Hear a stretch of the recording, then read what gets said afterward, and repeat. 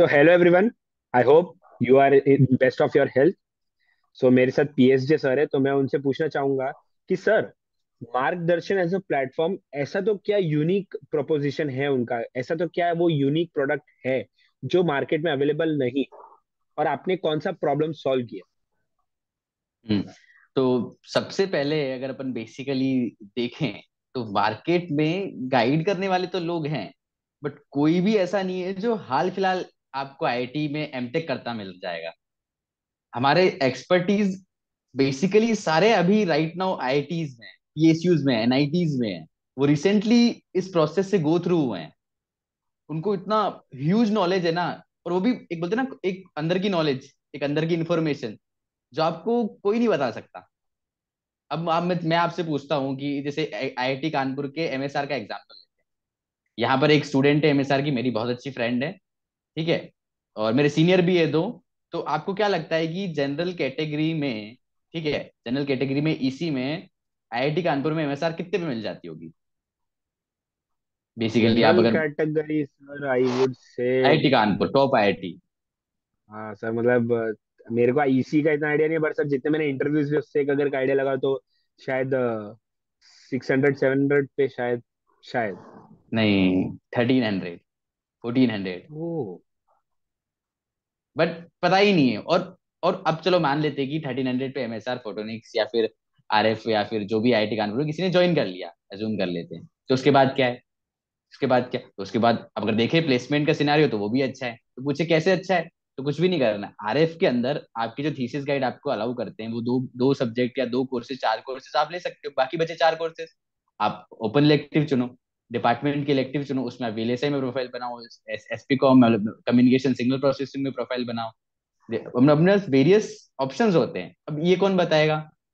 आपने अच्छा क्या मतलब तो ऐसा मतलब देखा आप ये कहना चाहते हो है? कि हाँ। जब बच्चा हमारा कोई भी कोर्स परचेस कर रहा है तो उसको न खाली एमटेक तक ही लेकिन उसके बाद में भी उसको अगर अपन गाइड करेंगे तो अपना पूरा का पूरा सपोर्ट रहेगा उनको।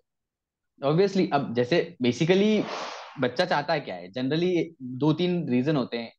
इसी में तो ऐसा, इसी में तो ऐसा कोई रीजन नहीं होगा कि कोई बच्चा यहाँ के अलग तैयारी करेगा, बहुत लेस चांसेस है।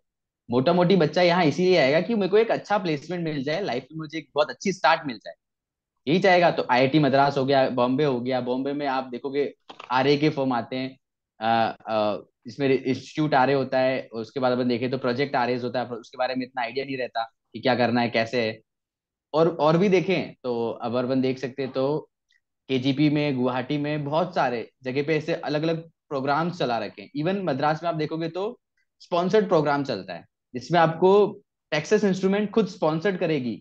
उसके लिए वो आपका एक इंटरव्यू लेगी, एक छोटा सा टेस्ट लेगी तो आप उस फॉर्म को भी भर सकते हैं। तो वैसे बहुत सारी चीज़ें हैं कॉन्फिडेंशियल इन्फॉर्मेशन है, जो कि या तो कोई गो थ्रू हुआ है, उसको पता है, या फिर जैसे अपनी क्या, अपनी रीच है। अपने हर एक आई में फ्रेंड है एनआईटीज में फ्रेंड है, अपना एक बहुत बड़ा नेटवर्क है, एक आई का एक बहुत बड़ा अच्छा इंटरकनेक्शन नेटवर्क होता है हर जगह। और अपन गो थ्रू है तो अपन को वो चीज़ें पता है। बेसिकली ये मार्केट में बिल्कुल डिफरेंट कर देती है मार्गदर्शन का द काउंसलिंग प्लेटफॉर्म को, बिल्कुल डिफरेंट कर देती है। और सेकंड बात देखें तो प्राइस इतनी रीजनेबल है कि कोई भी इसको अफोर्ड कर सकता है सिंपल सा अफोर्ड कर सकता है। और तीसरी बात अगर देखें तो एक्सपर्टीज में एक हाई रैंक से लेकर एक्सपर्ट भी है तो एक लो गेट स्कोर का एक्सपर्ट भी है, जिसने तो बहुत ज़्यादा ही रिसर्च करी है अपने पर्टिकुलर फ़ील्ड में एमटेक में आने की तो मोटा मोटी मैंने आपको दो तीन चीज़ ऐसी बताई जो बिल्कुल मार्केट में और बिल्कुल डिफरेंट बनाती है इस प्लेटफॉर्म को। सही बात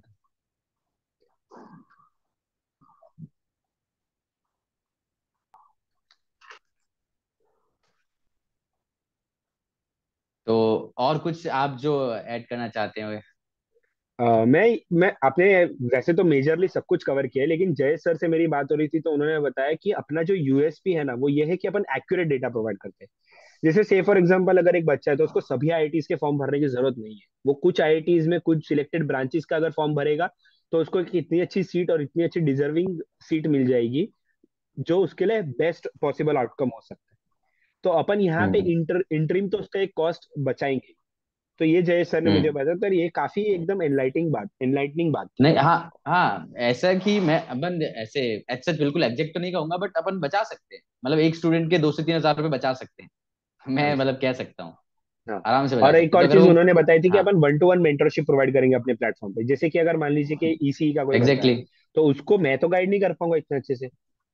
लेकिन हम्म। आप उसको हर एक स्टेप में गाइड कर पाएँगे। ऑन द कॉन्ट्ररी अगर मान लीजिए उसको कुछ एक स्पेसिफिक चीज़ जैसे कि अगर मान लीजिए उसको कोई एक स्पेसिफिक चीज़ सीखनी है जैसे अगर मान लीजिए ग्रुप डिस्कशन में कुछ चीज़ सीखनी है तो अगर वो मेरा अगर रीच अच्छा हुआ तो मैं उसको वहाँ हेल्प कर पाऊँगा। तो ये जो अपनी इंटरकनेक्टिविटी है सारी कम्युनिटीज की वो काफ़ी ज़्यादा करेगी यस ठीक है सर तो ये डिस्कशन को अपन इतना शॉर्ट ही रखते हैं और अगर आपको हमारे हम्म। प्लेटफॉर्म से कुछ भी हेल्प मिलता हो तो प्लीज़ लाइक करिए हमारे चैनल को सब्सक्राइब कीजिए एंड कमेंट कीजिए ताकि रीच हमारी ज़्यादा से ज़्यादा बढ़ सके और आपके दोस्तों को हेल्प मिल सके। Thank you